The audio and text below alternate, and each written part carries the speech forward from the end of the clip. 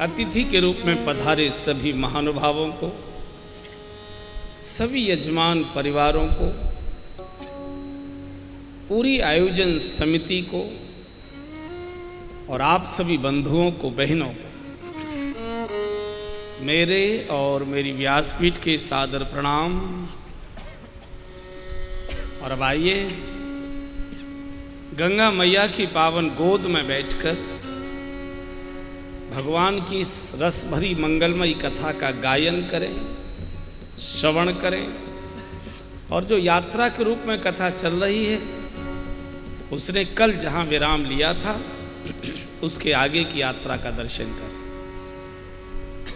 कल भगवान श्री हनुमान जी के पास आए थे। ऋष मूक पर्वत नियर आया। सुग्रीव ने हनुमान जी को भेजा, जाइए, वेश बदल कर जाइए और पता लगाइए हैं कौन।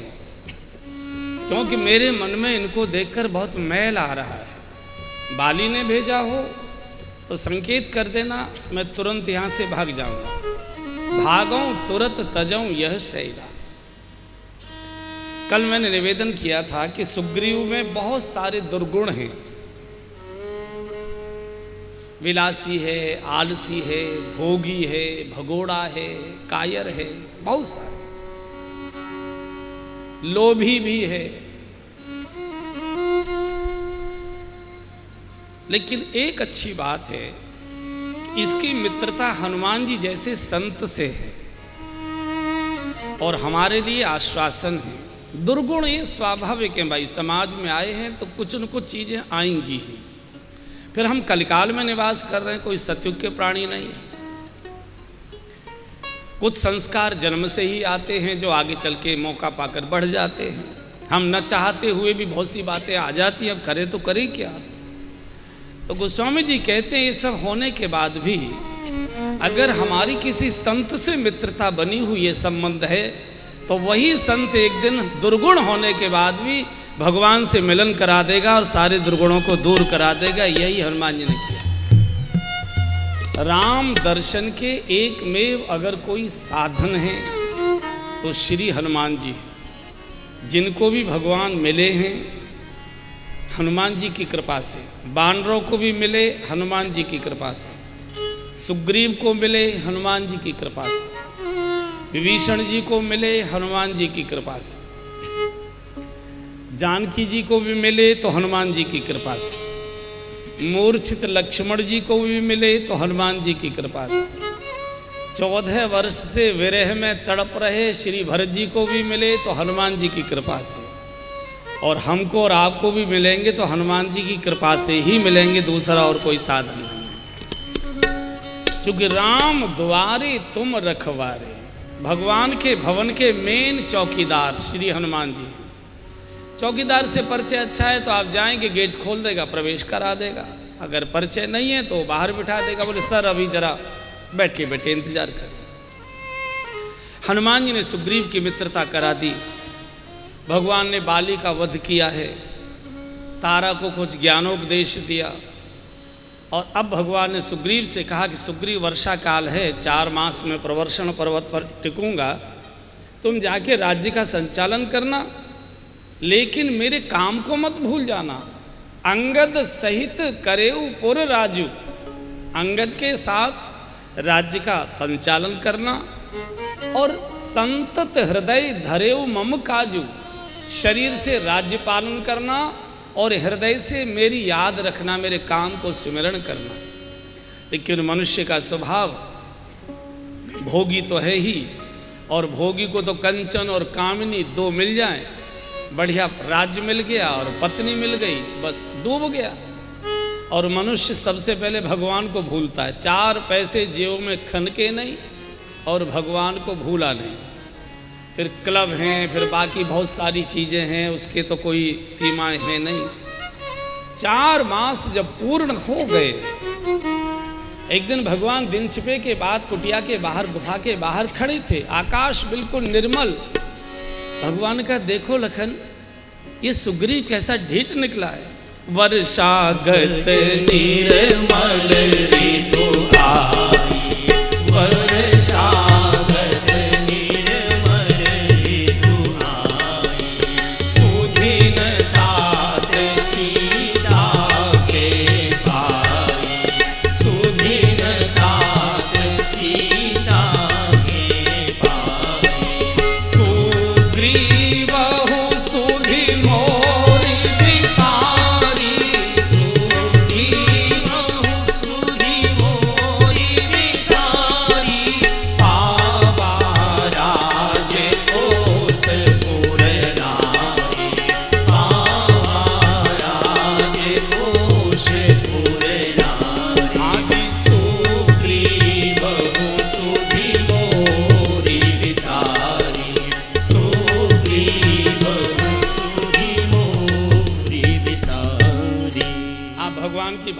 देखिए प्रभु कितने अंतर हृदय से दुखी जैसे लग रहे हैं। सुग्रीव ने भी मुझे विसार दिया। मैंने उसके साथ इतना भी किया, लेकिन उसने बिल्कुल विसार दिया।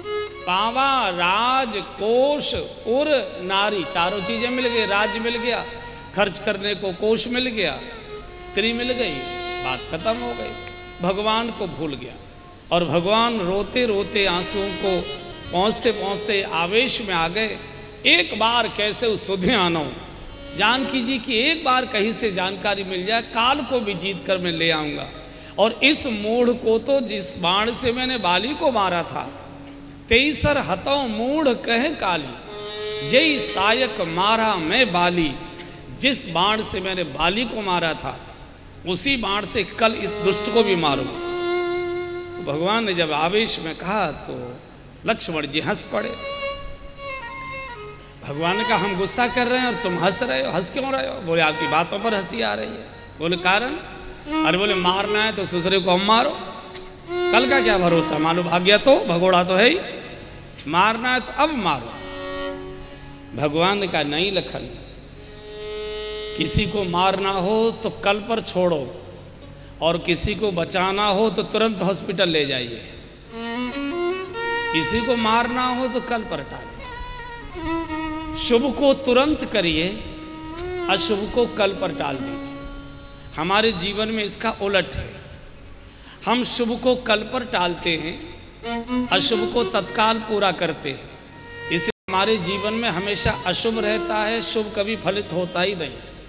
रिश्वत लेनी होगी, फट से नोट पकड़ लेंगे। दान करने की बात आएगी, अगले महीने देखा जाएगा। किसी को क्षमा करने की बात होगी तो सोचेंगे, जरा नाक रगड़ने दो। गाली गलौज करने की बात आएगी तो फट से पूरा बम फोड़ देंगे। पुण्य करना हो तो विचार करते रहेंगे। पाप करना हो तो अंधेरे में फट से कर डालेंगे। कथा में जाना हो तो सोच लेंगे, अभी तो आठ दिन पड़े हुए हैं, अभी कोई क्या जल्दी है? सुनी आएँगे, एक दिन जाना तो है, कल चले जाएँगे। और फ़िल्म में जाना हो तो तुरंत ब्लैक की टिकट मंगा लेंगे। हम अशुभ को तुरंत पकड़ते हैं, शुभ को कल पर टालते भगवान कहते हैं कि अशुभ को तुरंत पूरा करिए, शुभ को तुरंत पूरा करिए क्योंकि शुभ बहुत कठिनाई से आता अशुभ को कल पर टालिए। आज नहीं, रिश्वत कल ले लेंगे। ये पाप आज नहीं करेंगे, कल देखी जाएगी। आज हम नहीं गाली गलौच करते, कल देखेंगे। तुम देना है तो दे जाओ, गाली हम तो कल देंगे तुम और कल तो कभी आएगा नहीं। कल तो बहुत सी चीज़ें बदल देता है। माताओं को एक बड़ी समस्या रहती है। बहनें अपनी केवल एक ही समस्या लेकर आती है महात्माओं के पास। महाराज जी, क्रोध बहुत आता है। गुस्सा बहुत आती है। ये समस्या उनकी शाश्वत है और हर महात्मा के पास वो इस बात की बोलती है। क्रोध बहुत आता है।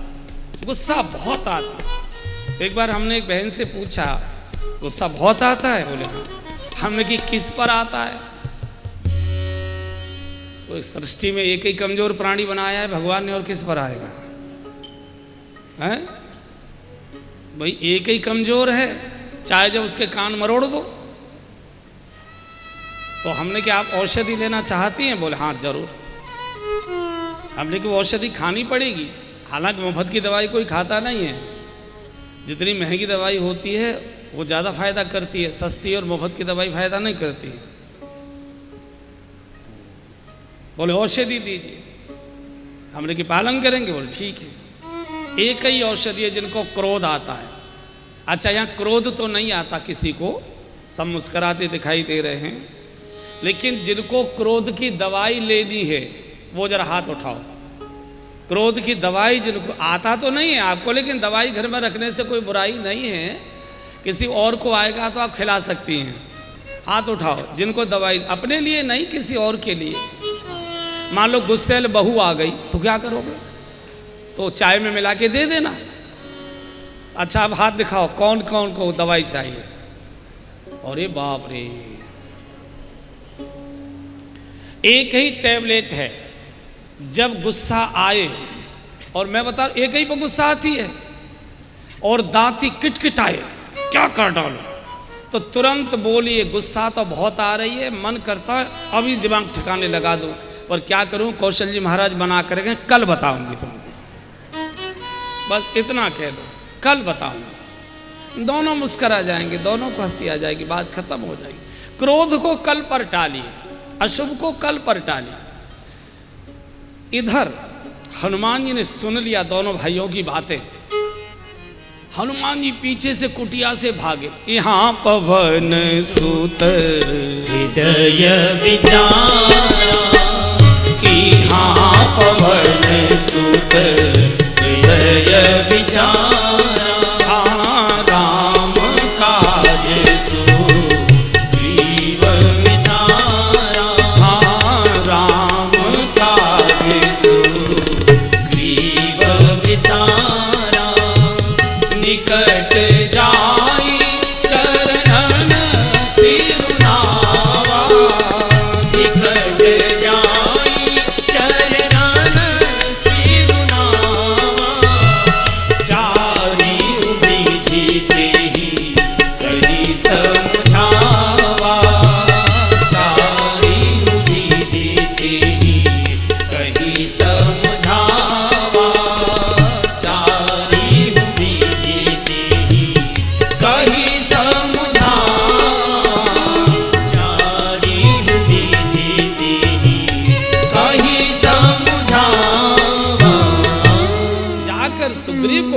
तेरी बुद्धि बिगड़ी है। तुझे मालूम है भगवान ने जिस बाण से बाली को मारा था थोड़ी चीख चिल्लाहट सी लग रही है। वो बाण बाली को मारकर कहाँ चला गया था? तो सुग्रीव ने कहा अब ठीक है। सुग्रीव ने कहा कि वो तो भगवान के तक, तर्कस में लौट गया था। तो हनुमान जी ने पूछा क्यों लौट गया था? मालूम है? बोले मोह तो मालूम ना है। हनुमान ने कहा तेरे लिए लौट गया था। चल। आकर सुग्रीव ने क्षमा मांगी है। यहाँ से फिर सेना की चार टुकड़ियाँ की गई चारों दिशाओं में। दक्षिण दिशा में प्रमुख बानर अंगद जी के नेतृत्व में यहाँ से सीता जी की खोज के लिए भेजे गए। भगवान ने हनुमान जी को अपनी मुद्रिका देकर कहा, हनुमान, जानकी जी को ये चिन्ह देना और जानकी जी का कोई चिन्ह लाकर मुझे देना। यहाँ से हनुमान जी चले हैं, सुंदर कांड में प्रवेश करते। मानस का सबसे मार्मिक पावन और सबकी मनोकामना पूर्ण करने वाला सिद्ध कांड, सुंदर कांड का शुभारंभ गोस्वामी जी। जैसा इसका नाम है, वैसा ये सुंदर है। फूल जैसा खिला हुआ। गोस्वामी जी ने मानस के कल्प वृक्ष का पुष्प बताया है सुंदर कांड। फूल जैसा हंसता हुआ, खिलखिलाता हुआ, सुगंध से भरा हुआ, आकर्षक, निष्कलंक, ऐसा सुंदर, भक्ति की सुगंध से भरा हुआ, खिला हुआ जीवन। विकारों का जीवन बुझा हुआ रहता है। विकार रहित जीवन खिला हुआ रहता है। जो दोषों में डूबा रहता है, वो भयभीत रहता है बुझा बुझा रहता है छुपा छुपा रहता है बचा बचा रहता है। और जो निर्दोष है, वो सीना तान कर खिलखिलाता रहता है, चूँकि उसको कोई भय नहीं होता है। तो ये सुंदरकांड पुष्प जैसा खिला हुआ जीवन, इस सब प्रकार की लौकिक और अलौकिक ये सबकी मनोकामनाएँ पूर्ण करने वाला सिद्ध कांड है, क्योंकि इसके संरक्षक श्री हनुमान जी हैं और इसकी अधिष्ठात्री देवी जानकी जी हैं, जिन्होंने हनुमान जी को आशीर्वाद दिया है अष्ट सिद्धि नव निधि के दाता। आपकी जो कोई भी कामनाएँ हों, सुंदरकांड का पाठ करिए, वैसे तो रोज करना चाहिए। लेकिन अगर मान लो रोज नहीं कर सकते तो मंगलवार, शनिवार को करें। और कभी भी करें सुबह कर लें दोपहर को कर लें दोपहर के बाद कर लें शाम को कर लें रात को कर लें पूजा घर में बैठ कर लें घर के बरांडे में बैठ कर लें ड्राइंग रूम में बैठ कर लें सोफे पर बैठ कर लें सोने वाले कमरे में पलंग पर बैठ कर कर लें कोई किसी प्रकार की भजन की शर्तें नहीं हुआ करती मंदिर में तो इसलिए बैठते हैं, चूँकि देवी देवताओं के चित्र सामने रहते हैं तो उनके कारण मन में एक पवित्रता रहती है। लेकिन हिंदुओं के हर घर में, हर कमरे में ड्राइंग रूम में सब जगह किसी न किसी देवता के चित्र रहते हैं। उनकी ओर देखते जाओ और कभी कभी देखा और पाठ करना शुरू कर दिया। माताओं को थोड़ी कठिनाई हो सकती है। उनको एक मुस्त पाठ करने में थोड़ी मुश्किल है। पाठ शुरू किया पति ने ज़ोर से बोला, अरे जरा चाय भेजो। आग लगे चाय को। आग लगे। इनको सवेरे से चाय चाहिए, ये पाठ भी नहीं कर देते क्रोध मत करिए, हाथ जोड़ दीजिए, जल छिड़किए, चाय बनाइए, चाय पिला कर आइए। फिर जहाँ से पाठ शुरू किया था, फिर वहाँ से शुरू कर दो। फिर आपने पाठ शुरू किया, मम्मी मम्मी, मेरा ये बस्ता नहीं मिल रहा है। मरे फिर उसको तैयार करो, फिर पाठ छोड़ दो, फिर मौका मिले, तब करो। दिन में शुरू कर दो। हो सकता है उसी समय कोई पड़ोसन आ जाए गप्पे मारने के लिए। वो अपना तो सत्यानाश कर ही रही है, तुम्हारा और आ जाएगी करने को। वो खुद तो पाठ वाट वाली नहीं है, वो आ गई। अब उससे भी निभाना है पड़ोसिन से। कोई बात नहीं, मूड मत बिगाड़िए, उससे भी अच्छी अच्छी बातें करो। चूँकि वो अपने बहू की बुराई करने आई है, तुम भी दो चार कर दो तो उसे थोड़ा सा रस आ जाएगा कि हाँ आए थे तो उसका लाभ हो। तो पाठ नहीं हुआ, जब वो चली जाए फिर शुरू करो। अब सायंकाल हो गई, बच्चे भी आ गए, पतदेव भी आ गए। रात को कर लो। रात में भी अवसर नहीं मिला तो जहाँ से छूटा था, अगले दिन वहीं से करिए पाठ। कभी खंडित नहीं हुआ करता है। बिल्कुल डरने की आवश्यकता नहीं है। नहीं, आप एक मुस्त कभी नहीं कर पाएँगे। थोड़ा थोड़ा करिए। पाँच दोहे आज, पाँच कल, पाँच परसों, पाँच पाँच पाँच अन्यथा तो साठ दोहे हैं पंद्रह पंद्रह करिए। जैसे सुविधा होती है, इसको प्रतिदिन करो, प्रतिदिन। कल एक बहन ने पूछा था कि मासिक धर्म जब रहता है तो क्या सुंदरकांड का पाठ कर सकते हैं? कर सकते हैं। इससे भजन नहीं, कहीं अशुद्ध होता है। मासिक धर्म के समय केवल ठाकुर जी की मूर्ति की सेवा नहीं की जाती बस। जो ठाकुर जी की, गोपाल जी या जो भी हमारे घर में प्रतिमाएँ हैं, उनकी सेवा पूजा वो नहीं की जाती मासिक धर्म के समय। शेष माला जपना, मंत्र जपना, पाठ करना, रामायण पढ़ना, जो इसके विरुद्ध कहता है, वो उसको मालूम ही नहीं है भगवान के बारे में कि वो भगवान इन चीज़ों में उलझते ही नहीं है। भजन में शरीर नहीं जाता, भजन में मन जाया करता है और पाठ मन से किया जा रहा है, सेवा पूजा चूँकि तन से की जा रही है और तन हमारा अशुद्ध है, इसलिए उस समय मूर्ति स्पर्श हम लोग नहीं करते तीन दिन के लिए। बाकी किसी की मत सुनिए। और जो देवता गड़बड़ करेगा, मुझे बता दो, मैं उसे डांटूँगा जाऊँ चिंता करने की आवश्यकता है मैं बोलूँगा उसको। पाठ शुरू कर। भजन कभी अशुद्ध नहीं हो, ये तो पतित पावन है, जास पतित पावन, बड़बाना। है? पाई न के गति पतित पावन। राम भज सुन सठ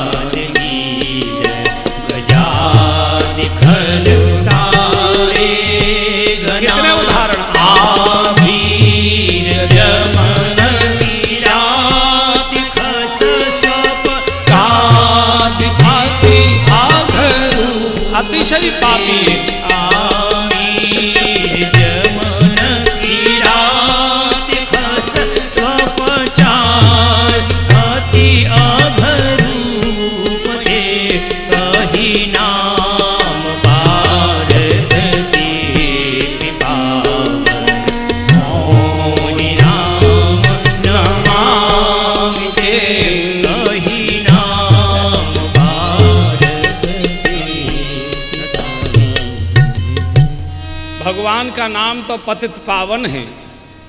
वो वो अपवित्र नहीं होता, वो अपवित्र को पवित्र करता है। अच्छा और देखिए, आप हरिद्वार में निवास करते हैं।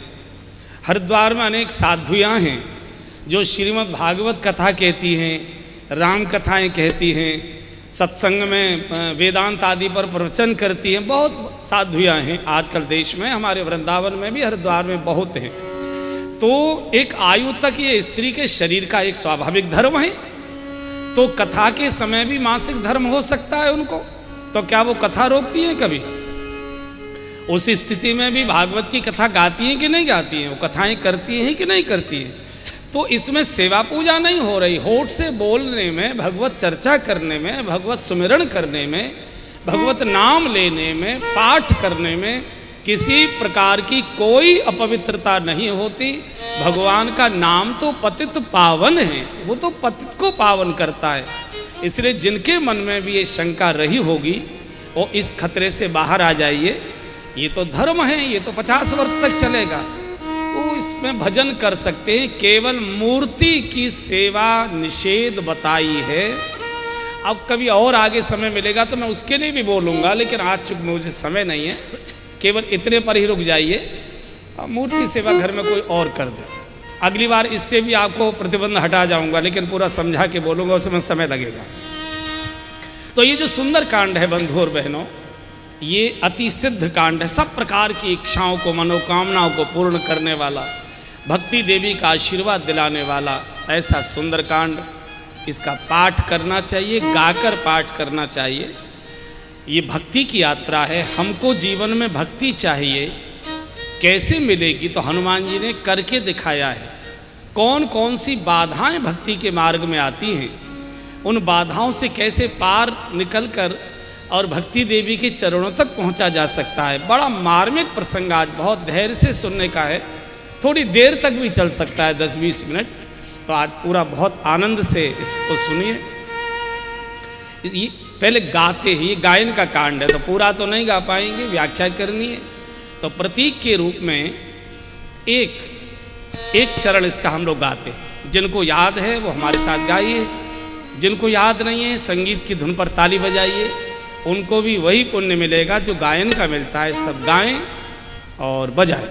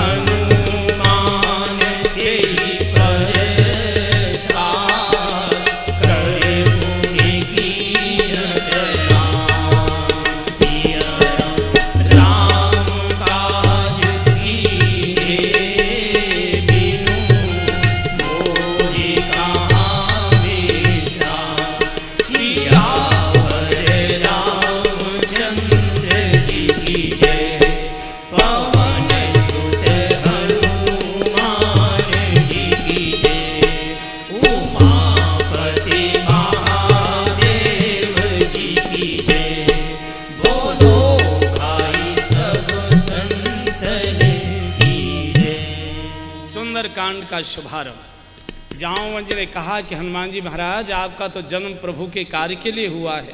तो हनुमान जी गदगद हो गए, राम काज लगे तब अवतारा। इतने प्रसन्न हुए, जाम मंत के वचन सुहाए। और अब हनुमान जी ने कहा, देखो भैया, जिस कार्य से मैं जा रहा हूँ, वो कार्य तो निश्चित पूर्ण होगा। हो या काज? कारण, बोले, मुझे बहुत प्रसन्नता हो रही है। हो यही काज मोय हर्ष विषय की। किसी भी कार्य को प्रारंभ करते समय मन में प्रसन्नता है उमंग है तो कार्य पूर्ण ज़रूर होगा। और धकर धकर है तो कार्य कितना भी सरल हो नहीं होगा। तो हनुमान जी ने कहा, इसलिए भैया, मेरी एक आप सबसे विनती है, कहिए क्या गया है? बोले, जब लगे आव आवहों सीता ही देखी। जब तक मैं सीता जी का दर्शन करके न लौटाऊं, तब तक तुम यहाँ से जाना मत। पर क्यों मोई भाई मेरी प्रतीक्षा करना और मुझे मालूम है कि यहाँ खारा खारा सागर का जल है, न पी सकते हो, न नहा सकते हो। कच्चे कच्चे कड़ुए कड़ुए कंद फल हैं, न खा सकते हो। दुख तो होगा, लेकिन सही दुख कंद मूल फल खाई। थोड़ा बहुत दुख सहन करना पड़े तो सहते रहना, लेकिन यहाँ से जाना मत, मेरी प्रतीक्षा कर। हनुमान जी चाहते तो ये भी कह सकते थे, भैया, यहाँ क्या करोगे? पड़े पड़े। न खाने की सुविधा, न पीने की सुविधा, न रहने की सुविधा। अब तुम सीधे किशकिंधा लौट जाओ और मैं लंका से आऊँगा, सीधा भगवान के पास आ जाऊँगा। या क्या करोगे? भूखे प्यासे, पड़े पड़े। हनुमान जी ये भी कह सकते थे। लेकिन हनुमान जी साधु संत के रक्षक हैं। साधु संत के तुम रखवार हनुमान जी जानते हैं कि आज अगर ये बानर निराश, हताश, खाली हाथ लौटकर वापस जाएँगे तो भविष्य में कोई भी साधना के मार्ग पर चलने का साहस नहीं करेगा।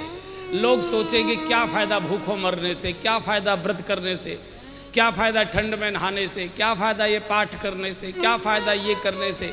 भक्ति तो मिलती नहीं है, चार सौ को उसकी बाधा आ जाती है, बेकार समय बर्बाद करने का लाभ क्या है? लोग भजन का मार्ग छोड़ सकते हैं इस भय के कारण। तुमको भगवान से भी मिलवा दूँगा और भक्ति का भी दर्शन करवा दूँगा, दोनों से मिलवा दूँगा। मेरी बात पर भरोसा कर और संत की वाणी पर, बात पर भरोसा रखें। मैं भी आपसे निवेदन कर रहा हो सकता है कि कई लोग ऐसे होंगे हमारे पड़ोस में, परिवार में या हमारी कॉलोनी में, जो सवेरे चार बजे उठ के नहा के भजन कर लेते होंगे। हमारी नींद सात बजे खुलती है। हो सकता है कि वो कई घंटे भजन करने के बाद चाय पीते हों। हमको बैठी बिना पिए शौच नहीं आती है, पेट साफ़ नहीं होता है। हम डायबिटिक मरीज़ हैं, चक्कर आने लगता है, बिना खाए हम रह नहीं सकते। भजन में इस प्रकार के कोई प्रतिबंध नहीं है। अगर चाय पीने की इच्छा है तो पहले चाय पियो, बाद में माला जपो। और अगर किसी की सुनकर जपोगे तो माला के राम राम तो भूल जाएँगे, चाय चाय कब मिलेगी, चाय चाय कब मिलेगी, चाय चाय कब मिलेगी। यही होगा। इसलिए पहले चाय पी लीजिए, फिर माला जपिए। चीटी काट रही है, मक्खी काट रही है और ध्यान में बैठे हैं तो पहले मक्खी उड़ाओ, चीटी को हटाओ, खुजालो, फिर ध्यान में लग जाओ। उससे कोई भी नहीं तो आपको मन लगेगा ही नहीं। अगर आप डायबिटिक हैं तो कुछ न कुछ दो चार बिस्कुट खाइए। मैं तो कहता हूँ, बढ़िया आलू का पराठा खा के बैठो, निश्चिंत भजन करोगे, कोई झंझट ही नहीं रहेगा आपको। एकदम बढ़िया चाय पराठा खाइए, फिर भजन में बैठिए। और इसलिए हमारे महात्माओं के अनुभव हैं, जिन्होंने भजन किया होगा, उनके अनुभव हैं। उन्होंने कह दिया कि भूखे भजन हो गोपाला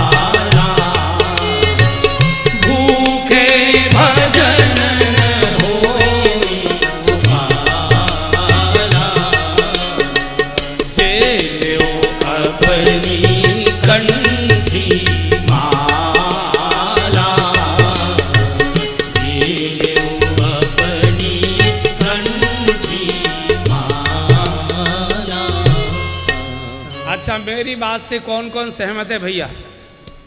अरे नमस्कार, बड़े कृपा की। मैं तो खुद ही सोच रहा था कि मैं ही पापी तो नहीं तो जैसे कुल मिलाकर भजन होना चाहिए। जैसे हमारी कथाओं में एक झगड़ा होता है समिति का और हमारा।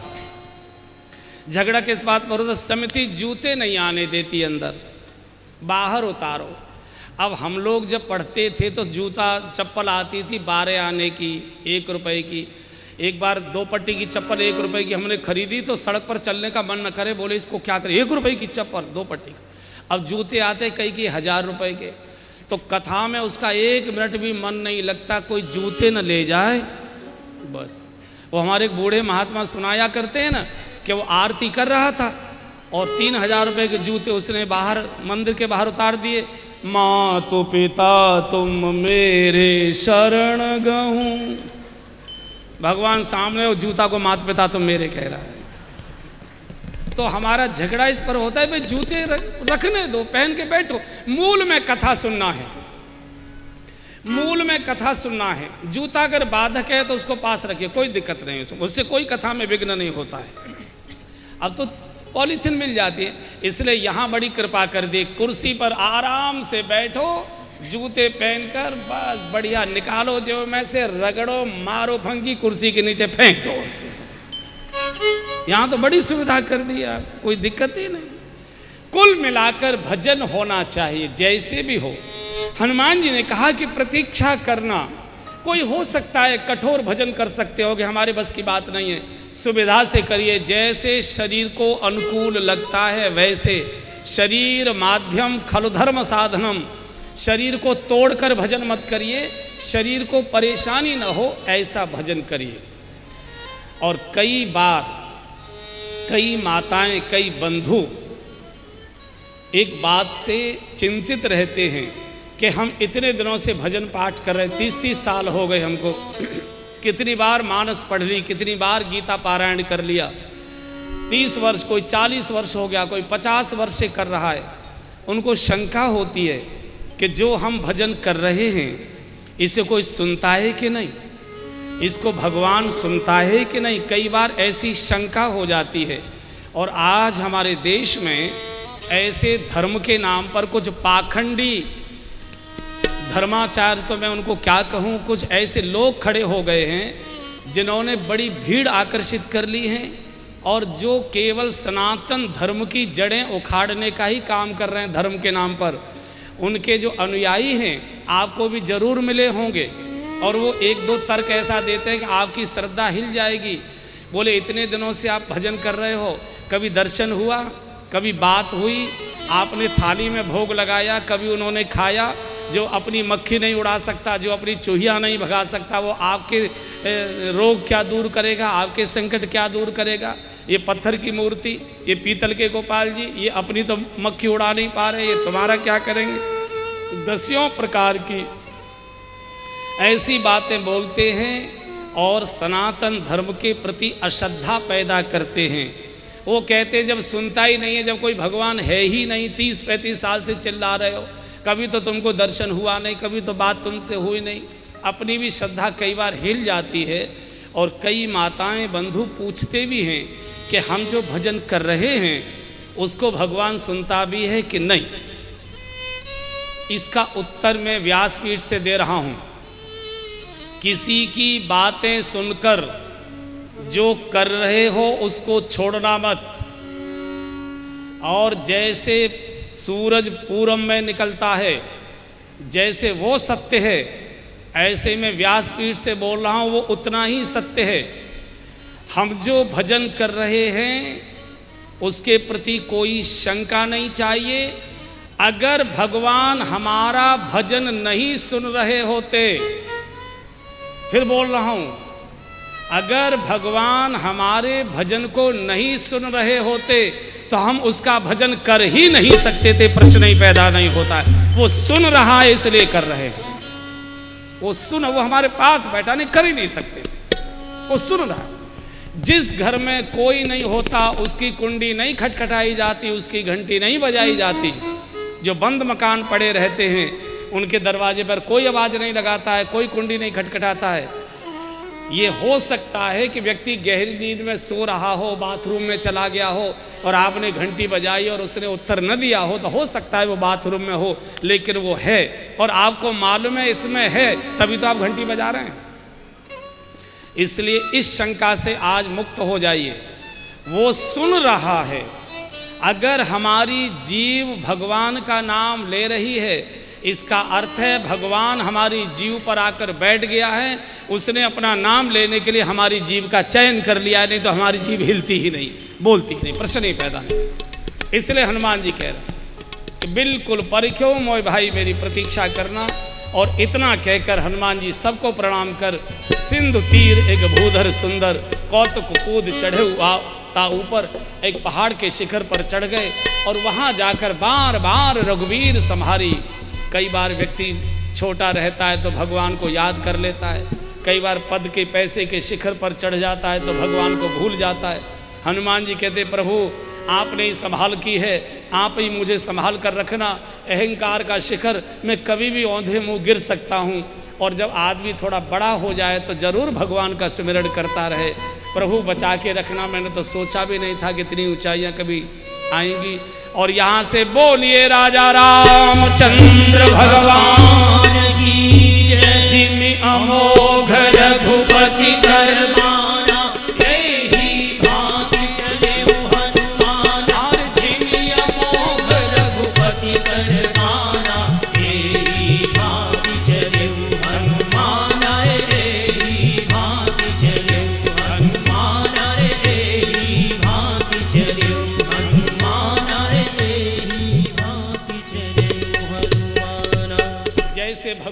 सारंग से अमोघ बाण छूटता हनुमान ने छलांग लगा पहली बाधा आ गई, सज धज के आवे आकर्षण। सोने का पहाड़ आ गया निकलकर, हनुमान जी, आप नहीं मुझे जानते, मैं आपको पहचानता हूँ, आप मेरे भतीजे लगते हैं, आपके पिताजी से मेरी बड़ी मित्रता थी। आप थक गए होंगे, थोड़ा विश्राम करिए। भक्ति के मार्ग पर चलोगे, थोड़े पीले पीले दुपट्टे डालोगे माथे पर तिलक तिलक लगाओगे, तुरंत आकर्षण आ वहाँ कहाँ जाओगे महाराज? बहुत अच्छी बगीची है, बहुत अच्छी कुटिया है, बड़ा अच्छा आश्रम है, गाय की, और हम सेवा करेंगे ना, यहीं रहो। और फिर आए थे हरिभजन को, लग गए। हनुमान जी बड़े विवेकी हैं। हनुमान जी की आँखों में लक्ष्य है कि मुझे भगवत कार्य पूर्ण करना है। और मनुष्य की आँखों में जब भगवत दर्शन का लक्ष्य नहीं होता और कई बार भजन के मार्ग पर साधु वेश लेकर चल देता है तो फिर मार्ग भटक जाता है। बाला के मन के गिनना तो भूल जाता है, सीमेंट के कट्टे गिनने में ज़िंदगी निकाल देता है। ईट की ट्रॉली गिनने में सारा जीवन चला जाता है। भोजन पहले हम करते थे शरीर की रक्षा के लिए। हम शरीर के लिए भोजन करते, फिर अंत में भोजन के लिए शरीर को लगा दिया करते। अगर जीवन में लक्ष्य नहीं है कि मुझे जाना कहाँ है, मैंने कल बोला था मैं कौन हूँ? मैं इस दुनिया में क्यों आया हूँ? मैं कर क्या रहा हूँ? और अंत में मुझे जाना कहाँ है? अगर ये लक्ष्य आँखों के सामने है तो कोई आकर्षण आपको रोक नहीं पाएगा। जब परिवार का आकर्षण नहीं रोक पाया तो ये बाकी का आकर्षण कैसे रोक पाएगा? क्योंकि लक्ष्य ये नहीं था। लक्ष्य जब ओझल हो जाता है आँखों से तो व्यक्ति फिर इन्हीं चीज़ों में फंस जाया करता है। साधुओं ने बहुत सारी चीज़ें।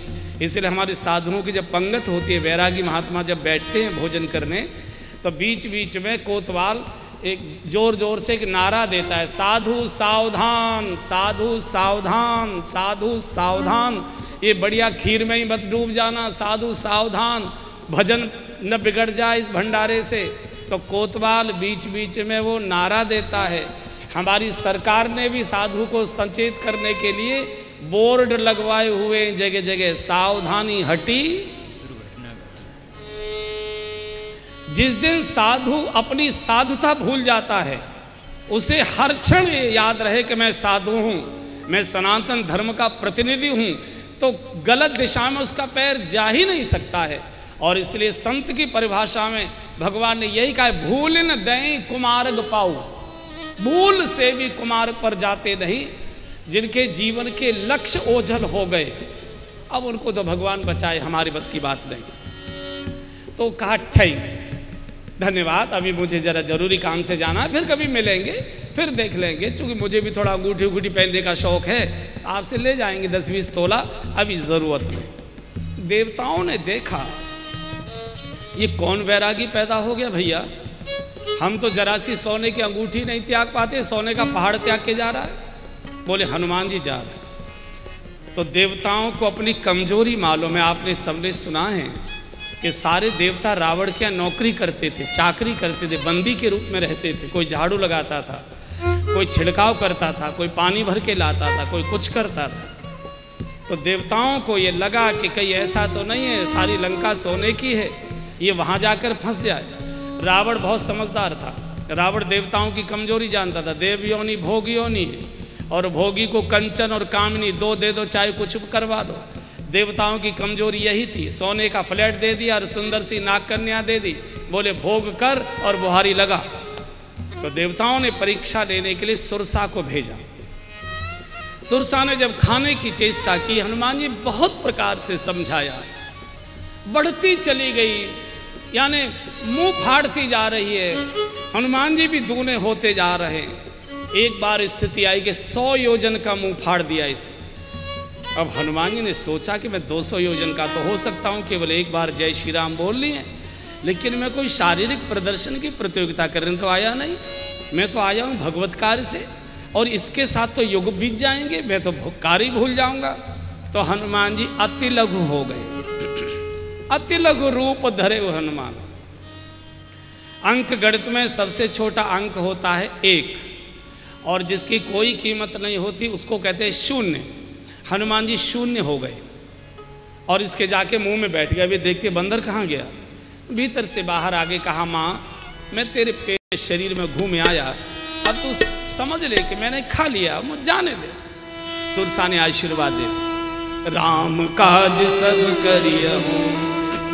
तुम बल बुद्धि निधान। आशीष दे गई सो। हर्षि चले ये पहली बाधा आती है भजन के मार्ग में महत्वाकांक्षा की। लोग मुझे पूज्य कहें, लोग मेरे सामने श्री लगाएँ, लोग मेरा आदर करें, लोग मुझे दंडवत करें, लोग मेरी जय जयकार करें, लोग मेरा सम्मान करें, मुझे जाने कि मैं हूँ। और अगर आप अपने व्यक्तित्व को चमकाने की कोशिश करोगे तो बहुत बड़े बड़े लोग आपको सटकने आ जाएँगे और आपकी सात पीढ़ी की खोज खोज के लाएँगे। सात पीढ़ी की पता नहीं ये कहाँ से पकड़ लाते हैं खोज कर हमारी तो यही समझ में नहीं आ रही अब तो हमको भी डर लगने लगता है। हम अपना बचपन याद करते हैं कि कुछ ऐसा तो नहीं हो गया चैनल वाले उसे भी पकड़ लाएँगे। बहुत कठिन होता है। बिल्कुल विनम्र, तृणादपि सुनीचे न, तरोदपि सहिष्णा किसी को पता न लगे, भजन चोरी से किया जाता है। भजन में चोरी चाहिए, जब सारा घर सो रहा हो, तब तक भजन कर डालो। लेकिन कई लोग ऐसे होते हैं कि घर के लोग सो रहे हैं और ये जल्दी जग गए और इनको अपने मुँह से तो कहेंगे नहीं कि मैं जल्दी जगाऊं, और लेकिन इम्प्रेशन भी मारना चाहते हैं हम तो चार बजे जग जाते हैं। तो बाल्टी में पूरी टोंटी खोलकर ऐसा हल्ला मचाते कि पड़ोसियों की भी नींद खुल जाए, टर्रे टर्र बोले। तो इससे दस तरह की बातें आई। बिल्कुल सूक्ष्म, किसी को पता ना लगे। बड़े लोगों से संघर्ष भी नहीं, और भजन के नाम पर, परमार्थ के नाम पर अपने व्यक्तित्व को चमकाने भी कार्य बड़े करिए। लेकिन बड़े कार्य के बहाने से अपने व्यक्तित्व को बड़ा करने की कोशिश मत करिए, नहीं तो लोग दबोच लेंगे। हनुमान जी को कहा है, महावीर विक्रम बजरंगी। हनुमान जी के लिए विक्रम शब्द आया है। विक्रम माने क्या होता है? बताओ, हरिद्वार के लोग जानते हैं। विक्रम माने रोहताज जी, विक्रम माने क्या होता है? हैं? अरे, हरिद्वार की सड़कों पर क्या चलते हैं? क्यों जी? कायम बैठ के हो कथा में? विक्रम ही तो हो। तो इतना भी नहीं जानते विक्रम विक्रम का मतलब यह कितने भी लाद दो नहीं करता है। विक्रम का अर्थ यही तो है। कितनी भी सवारी लाद दो ची नहीं करता है, सबको खींच कर ले जाता विक्रम का अर्थ यह है, जिसको कोई उत्तेजित न कर पाए, जिसको कोई दबोच न पाए। हनुमान जी में दो विशेषताएँ। हनुमान जी इतने विराट हो जाते हैं, सुन, सुनते ही भयु पर्वताकारा, कि कोई बड़ा मुँह फाड़ कर भी उनको सटक नहीं सकता। और हनुमान जी इतने छोटे अतिलघु रूप धरे हुए हनुमंता हनुमान जी इतने छोटे हो जाते कि चिमटी से भी कोई पकड़ नहीं सकता। हनुमान जी की विशेषता है। बड़प्पन में भी कोई उनको दबोच नहीं सकता और वो इतने छोटे हैं, विनम्र हो जाते हैं कि कोई चिमटी से भी उनको पकड़ नहीं सकता। ये हनुमान जी की विशेषता है। और जब भी हनुमान जी कोई बड़ा कार्य करते हैं, हमेशा छोटा ही रूप, अति लघु रूप धरे हो। मसक समान रूप कपे धरे। बिल्कुल छोटे हनुमान जी। और जो छोटा बनना जानता है वही जीवन में बड़े काम कर सकता है। हनुमान जी बिल्कुल छोटे हो आप देखिए, उत्तेजित नहीं हुए, आज उत्तेजित हो सकते थे। अभी रावण के दरबार में जाएँगे, हनुमान जी, रावण कितनी बदतमीजी की भाषा बोलता है। ए मूर्ख, ए सठ, कौसठ तोय न प्राण, कई बाधा, है? ए बंदर के बच्चे, कौन है बे तू? कह लंकेश, कवन थे बंदर, कहाँ से आया है बे? मरना चाहता है क्या? यानी कितनी कितनी अशिष्ट भाषा रावण बोल रहा है? सठ, मूर्ख, जड़। हनुमान जी को एक शब्द नहीं बोले। और हनुमान जी ने उत्तर भी दिया तो कैसे दिया? विनती कर, जोरी कर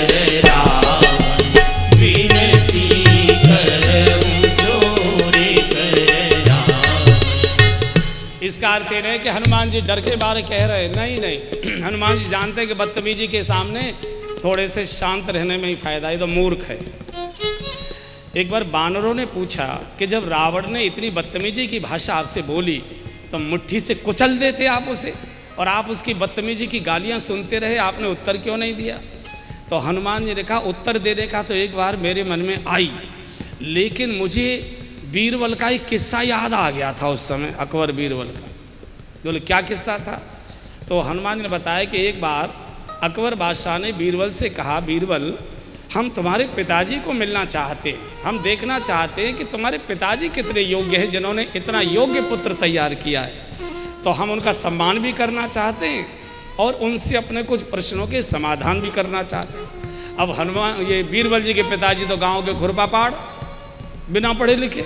अब बड़ी मुश्किल, बोले, कल उनको लाइए। बोले, ठीक है।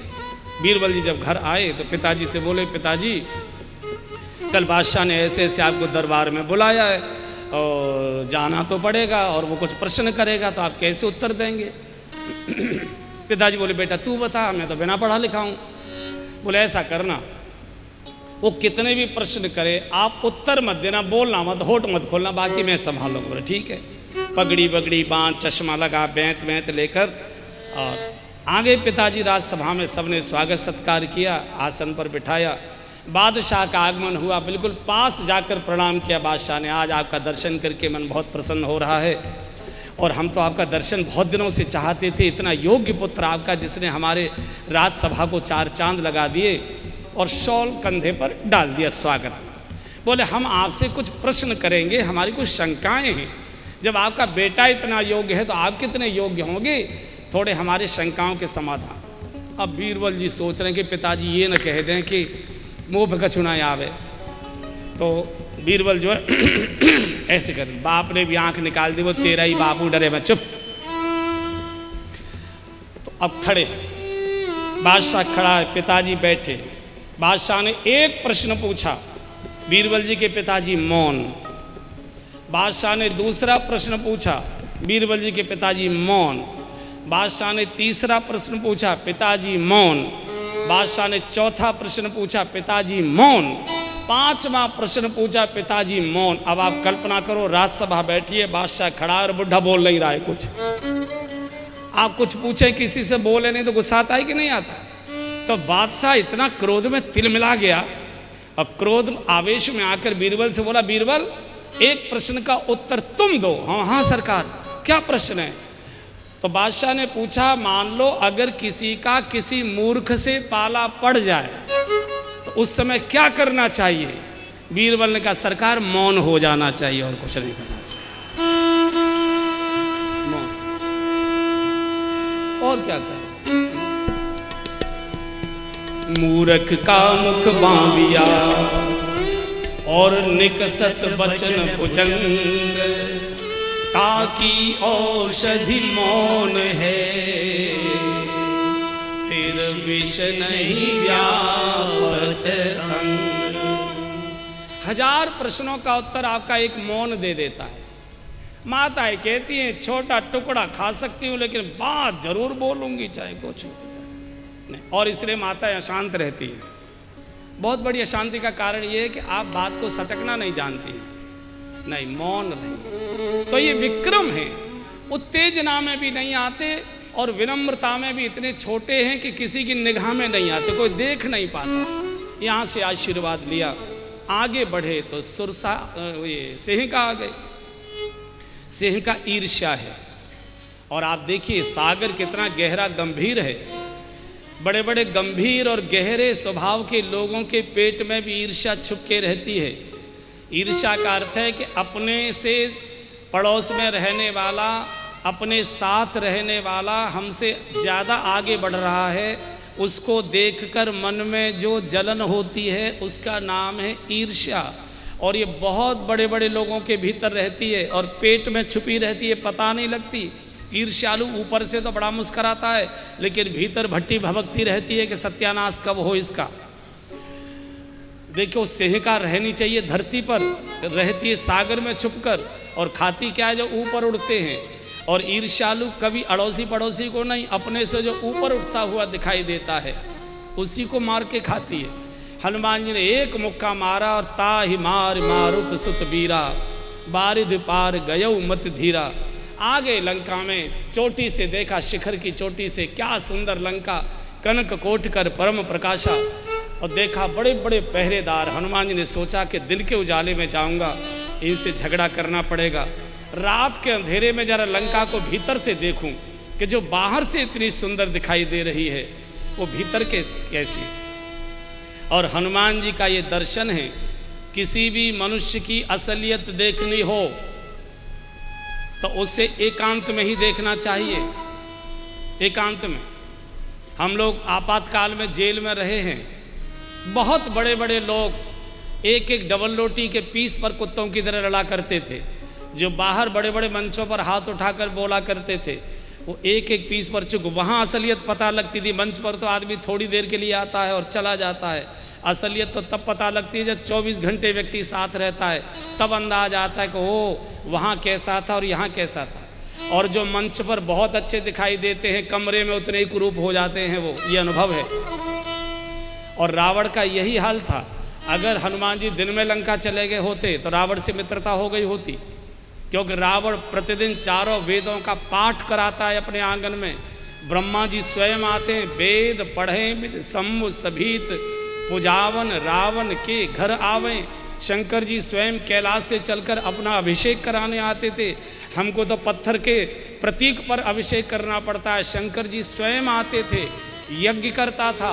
अपने हाथ से आटा मलकर विभीषण की गौशाला में गायों को आटा खिलाने जाता था। इतना धर्मात्मा रावण रात का अंधेरा होते ही मदरा पी के पागल हो जाता था। दिन का रावण धर्मात्मा है, रात का रावण पापात्मा है। अगर हनुमान जी दिन में गए होते तो भगवान से जाकर झगड़ते और कहते, भगवान, आपको गलतफहमी हो गई है। रावण जैसा धर्मात्मा, साधु पुरुष जानकी जी का कभी हरण नहीं कर सकता। इसलिए हनुमान जी ने सोचा, दिन के उजाले में तो देख लिया, जब हम चार लोगों के बीच में बैठते हैं कैसी कैसी परमार्थ की और समाज कल्याण की बातें करते हैं, और जब अकेले में पत्नी के पास बैठते हैं तो भाई का भी सत्यानाश करने का चिंतन करते हैं, भाई के साथ भी कैसे केस लड़ जाए, इसका ही करते हैं। चार लोगों के बीच में तो बहुत अच्छी बातें बोली जा सकती हैं, एकांत में भीतर क्या चल रहा है? और मनुष्य, जिस दिन इस सत्य को स्वीकार कर ले कि जैसा मैं लोगों को दिखाई दे रहा हूँ, वैसा मैं हूँ नहीं, और जैसा मैं हूँ, उसे न कोई जान पा रहा है, न देख पा रहा है। जिस दिन इस सत्य को स्वीकार कर लेगा, बहुत सारी अशांति अपने आप समाप्त हो जाएगी। लेकिन हम जनाते कुछ हैं, जीते कुछ हैं, दिखाते कुछ हैं, होते कुछ हैं, और सत्य यह है कि जैसे हम दिखाई दे रहे हैं, वैसे हम हैं नहीं। हम कुछ और हैं। जिसको कोई नहीं जान पाता है। फिर लाख भजन में मन का लगाइए, लगेगा ही नहीं। क्योंकि मन तो उसी रूप में जाएगा जिस रूप में आप अंदर भीतर जी रहे। रावण ऊपर से साधु था, भीतर से कुकर्मी था। भीतर से कुकर्मी। और भैया, मैंने कई बार गाया है, पहला पद फिर गा लो। कितना भी छुपा लो, गाओ लाख पर्दे में छुपा ले। लाख पर्दे में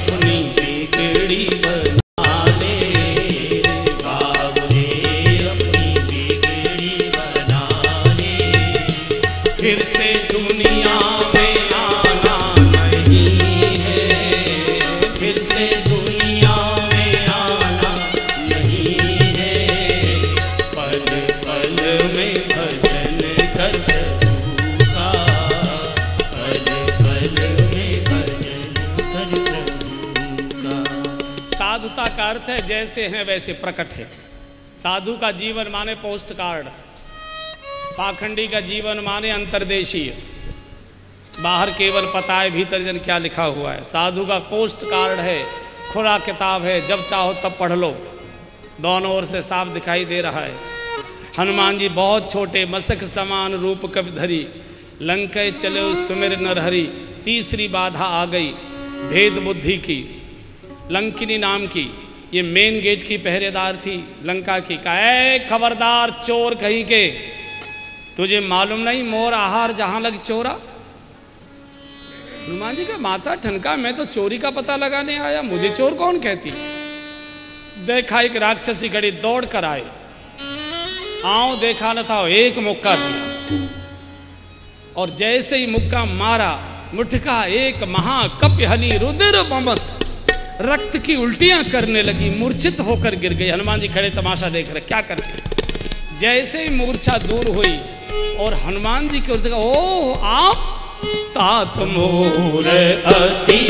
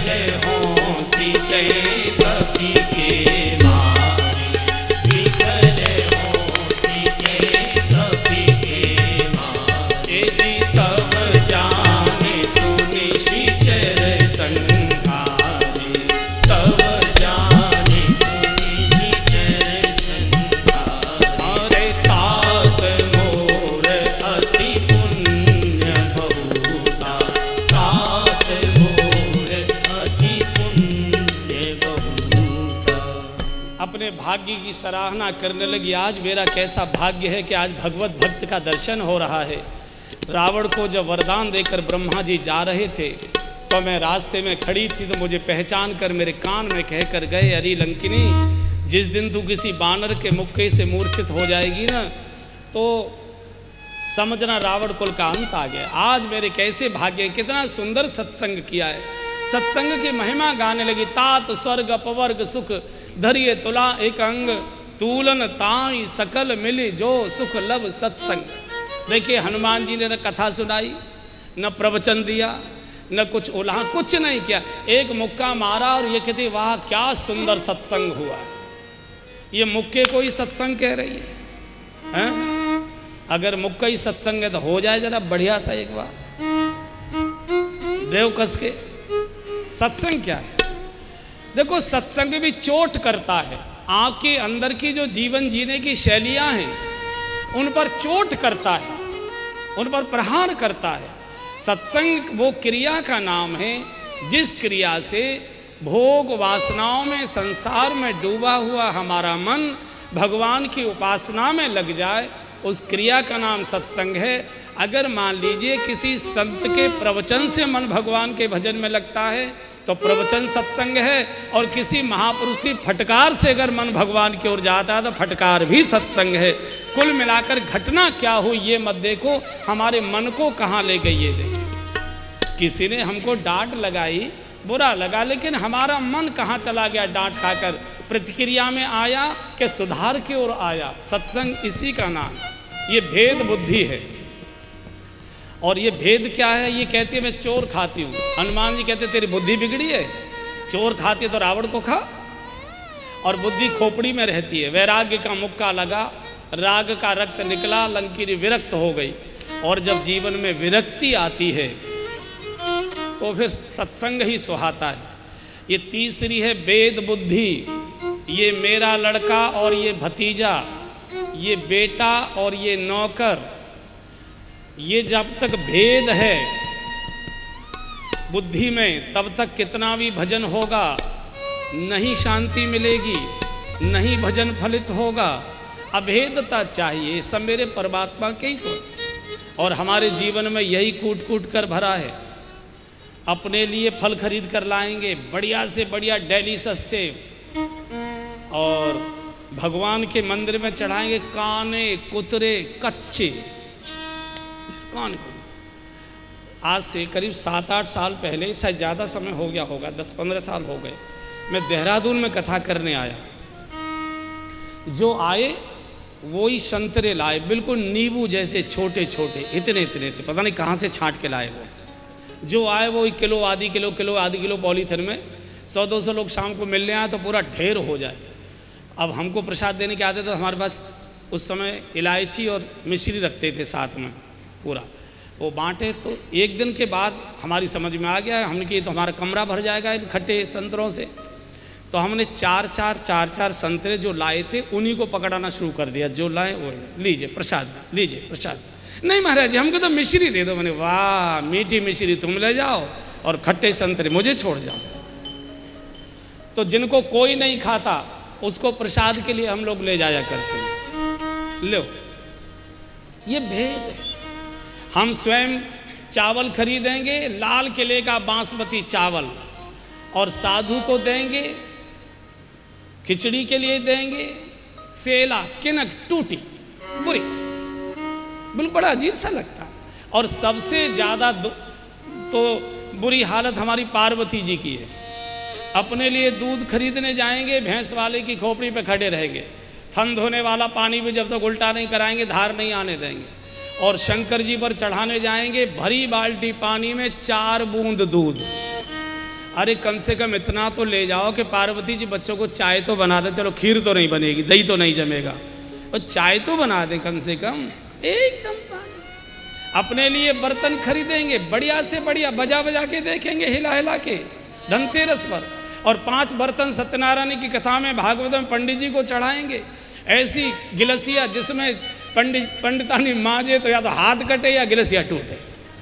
इतनी इतनी सी कटोरी, अरे कम से कम ऐसी तो लो उनके बच्चे, कम से कम दाल सब्ज़ी तो खा लें उनमें रख के। अपने लिए कपड़े खरीदेंगे। बढ़िया से बढ़िया सिल्क और पॉलिस्टर।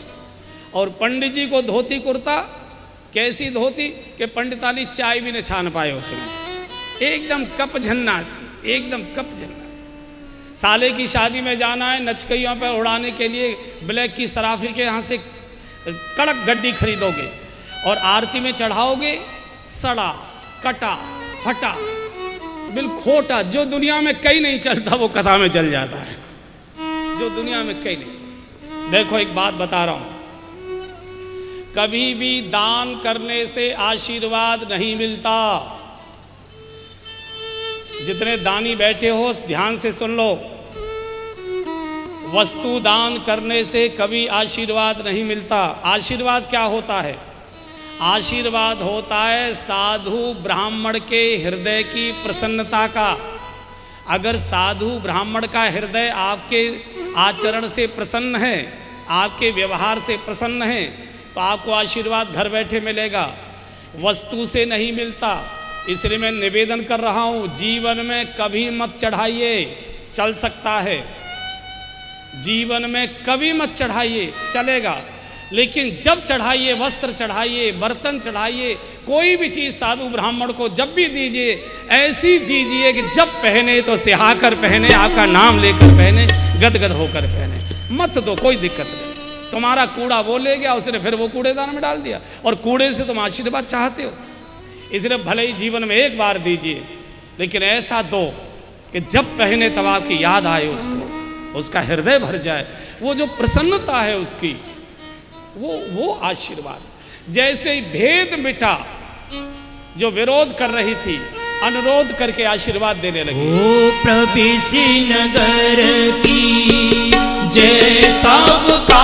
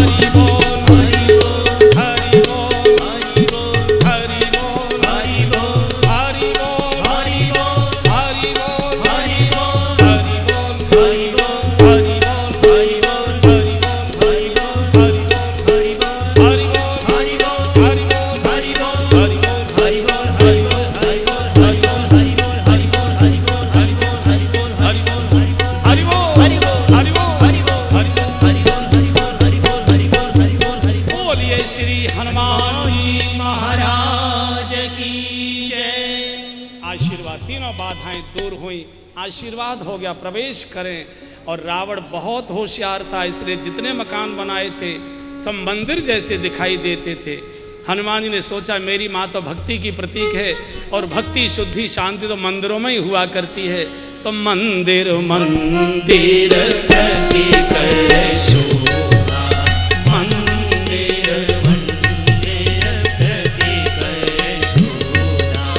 मंदिर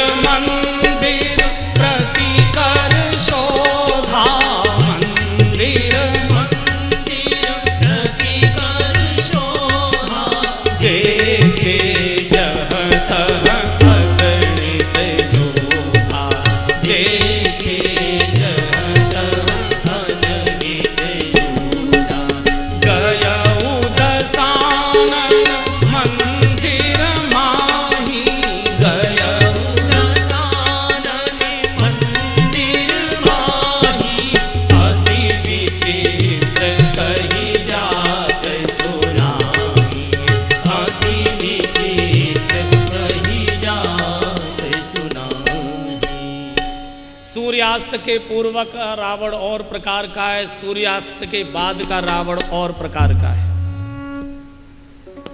इसलिए उसके दस सिर बताए गए। दस सिर का मतलब ही ये है, जो दस तरह के बाने बदलता है। एक सज्जन ने हमसे पूछा, रावण के दस थे। सही थे क्या? हमने कि क्यों? बोले, नहीं, ये नहीं हो सकता है। हमने कि अच्छा चलो, रावण को तो जाने दो। जरा अपने गिन के देखो कितने। हमने के कहा जरा अपने गिनो। अरे बोले हमारा तो एक है हमने कि एक नहीं है। इसकी अगल बगल में देखो कितने हैं। अरे कैसे?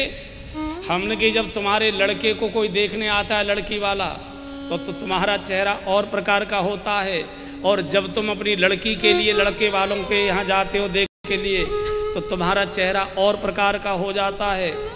जब तुम्हारे पास कोई कर्जा मांगने आता है तो तुम्हारा चेहरा और प्रकार का होता है। और जब तुम्हारा मालिक कर्जा जिसने दिया है, वो आता है तो तुम्हारा वही चेहरा और प्रकार का होता है। नौकर आता है तो चेहरा और प्रकार का हो जाता है। और तुम्हारा मालिक आता है तो चेहरा और प्रकार का हो जाता है। और बताऊँ? हैं? हमने की पत्नी आती है सामने तो चेहरा और प्रकार का होता है, और साली आ जाती है तो? कितने प्रकार के चेहरे बदलते हो भाई? कितने चेहरे बदलते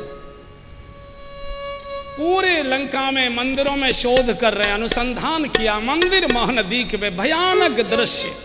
कहीं न जात कछ। मदरा के कुंड फूटे पड़े हैं, महापाप। मेरी माए से पाप नहीं, निकल आए वहाँ से। और रावण के भवन के पास एक सुंदर मकान, भवन एक पुण्य दीख सुहावा, हर मंदिर तह भिन्न बनावा। रामायुध अंकित ग्रह। तुलसी जी महारानी विराजमान भगवान के आयुध के चिन्ह, विभीषण के द्वार के बाहर हनुमान जी खड़े हैं ये क्या लीला है? इतना बड़ा लंका में पाप और ये भगवत भक्त लंकानीशी चरणी कर निवासा।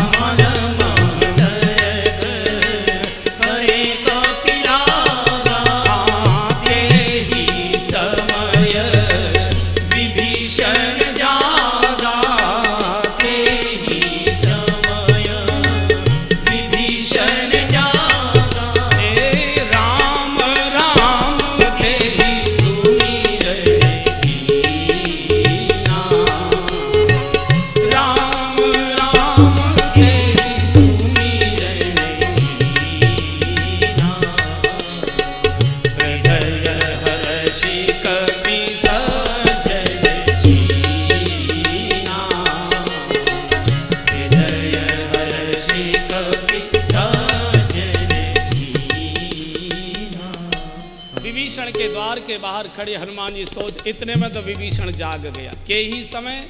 बोले, ते ही समय। और ये सूत्र है, बंधुओं, जब तक हमारे जीवन के द्वार पर किसी संत का, साधु का, महात्मा का, महापुरुष का शुभागमन नहीं होता, तब तक जीवन सोया रहता है।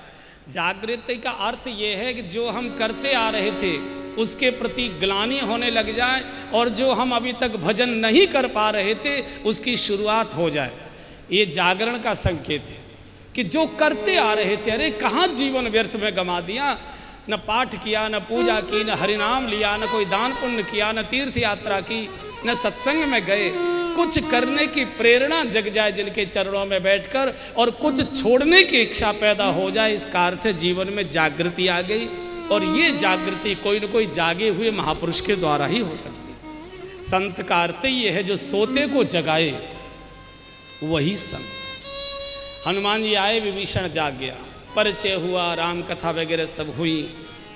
हनुमान जी ने पूछा, विभीषण, रात मैंने लंका में बड़ा पाप देखा भैया, तुम कैसे रहते हो? अरे, विभीषण तो रोने लगा हनुमान जी का रोते क्यों? बोले, आपने मेरे पके हुए फोड़े पर चोट मार दी। तो क्या मतलब? बोले, आपने पूछा है कि तुम कैसे रहते हो? आपको मालूम हम कैसे रहते हैं? कैसे रहते हो? बोले, सुनहु पवन सुत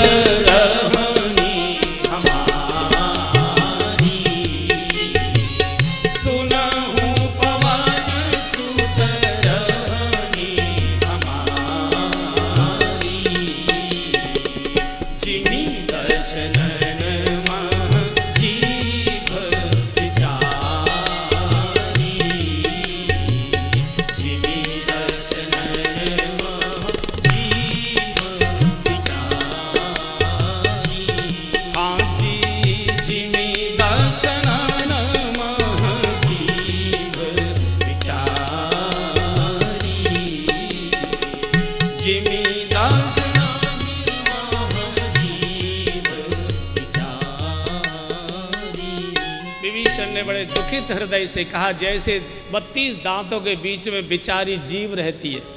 हनुमान जी का, ए विभीषण, तू भक्ति करता है, भगवान का भजन करता है और बिचारा होकर जीवन जीता है। बिचारे मत बनो, विचार करो। आखिर तुम्हारी दुर्दशा क्यों हो गई? तुम भक्ति राम की करते हो, राम का काम कुछ नहीं करते हो।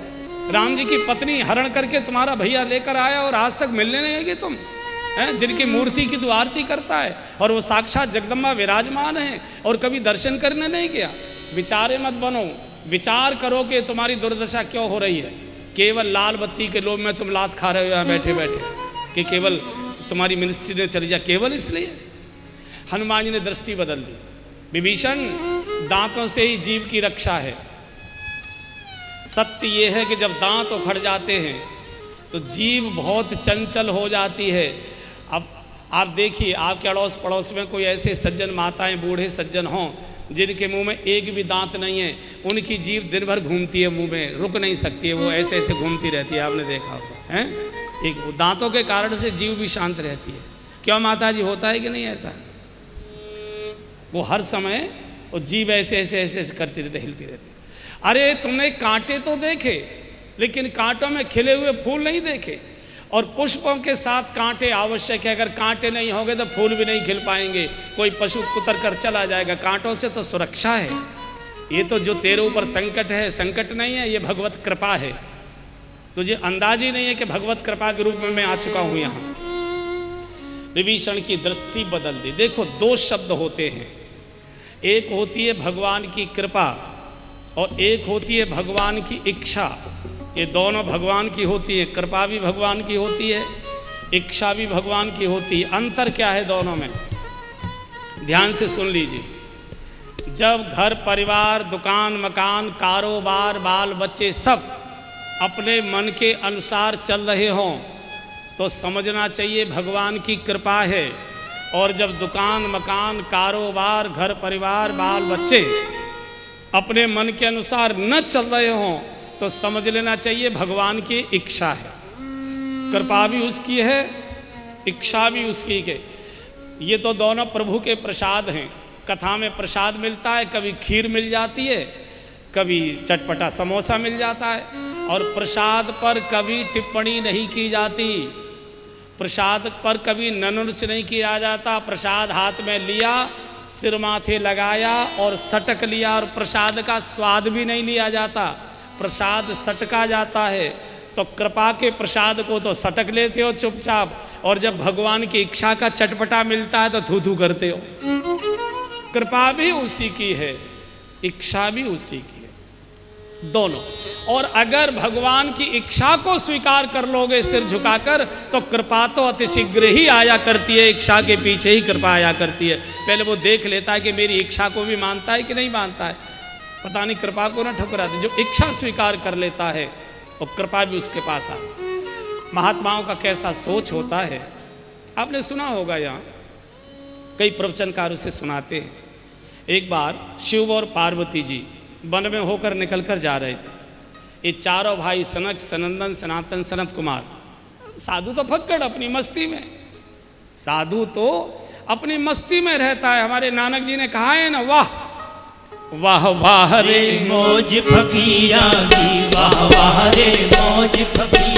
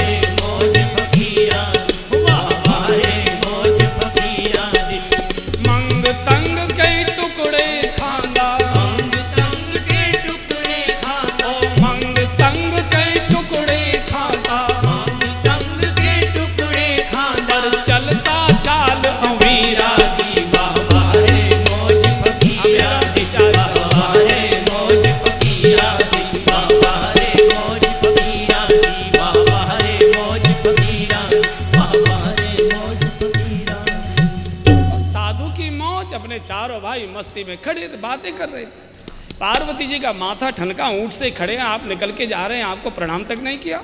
ऊँट हो जाओ। अब भवानी का वाणी, वचन चारों ऊँट हो गए। एक साल बीत गया। पार्वती जी ने कहा कि चलो उन ऊँटों को देख कर आते हैं आजकल क्या हाल है।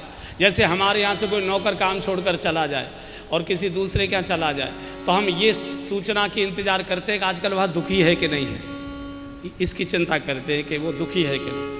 तो शंकर जी ने कहा, साधु है, रहने दो। बोले, नहीं, देखती हूँ, चल के। आ गए। चारों ऊँट बैठे, जुगाली कर रहे थे। पार्वती जी शिव प्रकट होकर आ गए। पार्वती जी ने कहा कि हमने आपको ऊँट होने का शाप दिया।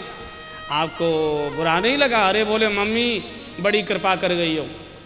माँ कभी श्राप नहीं देती, माँ तो आशीर्वाद ही दिया करती है। अरे, बोले, ऊँट बन गए आप ऋषि से। बोले, बड़ी कृपा कर दी। बोले, क्या मतलब? बोले, जब मुनि के वेश में रहते थे रोज़ाना नहाने का झंझट पड़ता था, ठंडे पानी से नहाते नहाते नाक में दम हो जाता। जब से ऊँट बना है, नहाने का झंझट ही खत्म हो गया, कोई ज़रूरत ही नहीं पड़ती है। और दूसरे, जब मुनि के वेश में निकला करते थे तो लंगोटी चाहिए, अचला चाहिए, कपड़ा चाहिए, चादर चाहिए। जब से ऊँट बनाया है, कच्चे बनियान का भी झंझट खत्म, न टीटी चाहिए, न स्वास्थ्य चाहिए। मस्त घूमते। और जब ऋषि वेश में थे तो भिक्षा की चिंता होती थी कि कहाँ जाकर भिक्षा करें। जब से ऊँट बनाया, ये झंझट खत्म हो गया। जहाँ मुँह उठाते हैं, वही भिक्षा हो जाती है। जिस पेड़ के नीचे मुँह उठाया। तो ये हर क्रिया में भगवान की सद इच्छा का दर्शन, ये साधता है। प्रभु की यही इच्छा होगी। हम गाते तो हैं, जाई विद राखे राम, ताई विद रहिए। लेकिन रहना चाहते हैं अपनी शर्तों पर। रहना चाहते अपनी। विभीषण का थोड़ा मूड ठीक हुआ तो हनुमान जी ने कहा कि चलो अब माँ का दर्शन करें। विभीषण ने युक्ति बता दी। जुगत विभीषण सकल उसने बोले, ऐसा करो, मेरे पास तो टाइम नहीं अभी मेरी कैबिनेट की मीटिंग है। ऐसे जाना चौराहे पर, फिर ऐसे दाएँ मुड़ जाना, फिर आगे तिराहे पर बाएँ, सामने अशोक वाटिका चले जाओ हनुमान ने कहा, भैया, तू जाने तेरा काम जा रहा मैं तो चला। चले पवन सुत विदा कराई।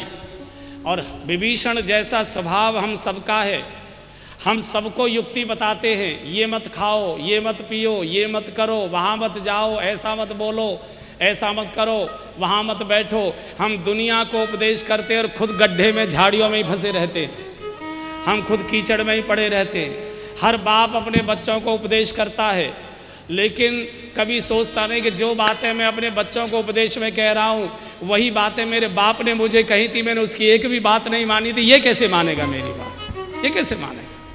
जो बातें हमने अपने पिता की नहीं मानी, उन बातों को अपने बच्चों से कैसे मनवाना चाहोगे सब युक्ति जानते विभीषण को बाद में लात खानी पड़ती है, और ये नियम है, जब तक संसारी की लात नहीं लगती, तब तक संत की बात नहीं लगती, और जब तक संत की बात नहीं लगती, तब तक भगवंत की याद नहीं लगती। ये हनुमान जी की बात सुनकर नहीं आएगा भगवान की ओर, ये रावण की लात खा कर आएगा। तो भगवान तो मिलेंगे, लेकिन कलंक साथ लगा रहेगा इसके। हनुमान जी तो आ गए अशोक वाटिका में। माँ का दर्शन किया, कृष्ण शीश जटा एक बैनी, हड्डियों का ढांचा माँ बैठी, हरिनाम का सिमरण अशोक वृक्ष पर हनुमान जी बैठे, मन ही मन माँ को प्रणाम किया। सोच रहे हैं, क्या करूँ? मुद्रिका डालूं, कथा सुनाऊं, या जाकर सीधा परिचय देकर प्रणाम करूँ? सोच रहे थे, इतने में तो रावण आ गया।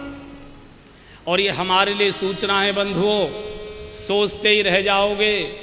द्योज से भजन करूँ, कि पंचमी से करूँ, कि एकादशी से करूँ, कि अमावस से करूँ, कि पूर्णिमा से करूँ, सोचते ही रह जाओगे, तब तक साल आएगा और जन कहीं और घुमाने ले जाएगा। शुभ कार्य आते ही, शुभ विचार आते ही, तत्काल शुरू करो। एक बार शुभ विचार गया तो बहुत लंबी यात्रा पर चला जाता है। रावण ने जानकी जी को बहुत धमकाया है और कह कर गया, एक मास की मोहलत देकर जा रहा हूँ। रावण तो चला गया। तो जब राक्षसियों ने धमकाना शुरू किया तो त्रिजटा नाम के एक राक्षसी जो जानकी जी की बड़ी हितैषी थी, उसने सम डांटा खबरदार, ये जगन माता है, इसको कुछ मत बोलो, रावण की बातें मत सुनो। अरे, मैंने रात सपना देखा है कि एक बड़ा भारी मोटा ताजी बंदर आया है। और उसने सारी लंका को जला के राख कर दिया, अशोक वाटिका को उजाड़ दिया। अब हनुमान जी पेड़ पर बैठे हैं और सोच रहे हैं, कमाल को कंप्यूटर है यहाँ के पास। है?